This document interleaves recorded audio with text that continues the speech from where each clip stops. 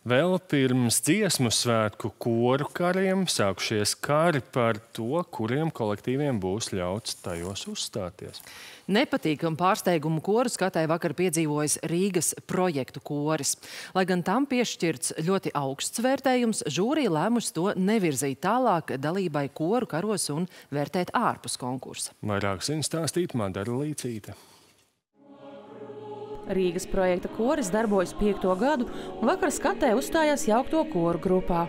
Žūrija diriģenta Ramāna Vanaga vadībā kora dziedājumu novērtēja ar 47,67 punktiem no 50 iespējamajiem. Tad ir liels esot bijis pārsteigums, ka korim nav piešķirta augstākā pakāpe, un tas netika virzīts tālāk uz koru kariem.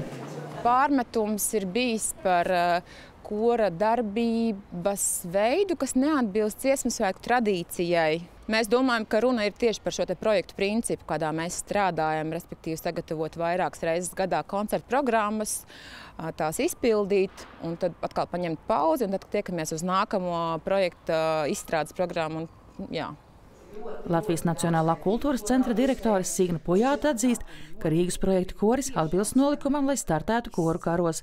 Tādēļ viņi nolēmusi pie sarunu galda aicināt gan koru pārstāvjus, gan arī žūriju. Šobrīd viņi formāli atbilst visiem nosacījumiem, lai tas tā būtu, bet es vēlreiz gribu uzsvērt, ka tāda tradīcija, kas ilgstoši pastāv, kur kori darbojas, un tātad viņu tas darbības veids ikdienā atšķiras no šī kora ikdienas darbības, ir radījis šīs domstarpības. Romāns Vanaks saka, noticis pārpratums.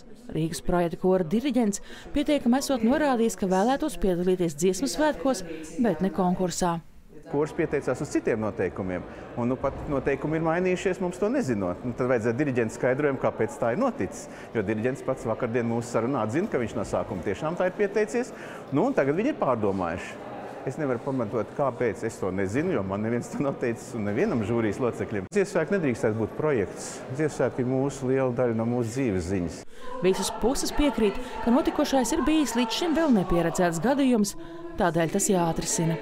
Mēs vairāk skatāmies uz to, ka dziesmu svētku procesam ir jāattīstās. Un, un kaut kādā mērā varbūt šis, eh, šis mūsu gadījums, sauksim to tā, liks eh, paskatīties uz dziesmu svētku procesu nu, tas arī mainās, ka tam ir jāmainās, ka tam jāiet dziedātājiem līdzi. Es gribētu, lai mēs pirmkārt nomierinām savus sakarsušos prātus un izrunājam situāciju uh, no abām pusēm, tātad no uh, tradīcijas kopējiem, kas strādā gadu desmitiem šajā tradīcijā, un otra puse, kas arī nenoliedzami ir kādā dzīves posmā bijuši aktīvāki dziesmu dēļsvēku kustības dalībnieki.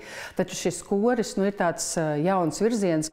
Par to, vai koru karos dzirdēsim arī Rīgas projekta kori, vēl nav zināms, taču tagad korim ir nopelnīta ceļa zīme uz meža parka estrādes lielo skatu.